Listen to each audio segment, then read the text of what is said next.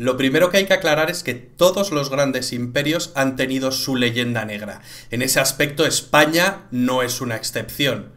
El término leyenda negra para hablar de España surge en 1899 en un ambiente intelectual de absoluto pesimismo, pues España ha perdido sus últimas grandes posesiones ultramarinas con la pérdida de Cuba, Puerto Rico y Filipinas, y no nos ha de extrañar que surja un término como el de leyenda negra. De hecho, lo acuña Emilia Pardo Bazán en la Sociedad de Conferencias de París, en una charla titulada La España de ayer y de hoy,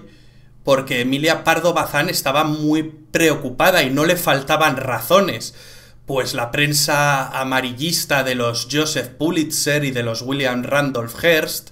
tras el desastre del 98, había vertido toda clase de falsedades sobre España y los españoles, justo para llegar a la guerra con los españoles y así poder adueñarse de sus eh, últimos vestigios de su ya extinto imperio ultramarino,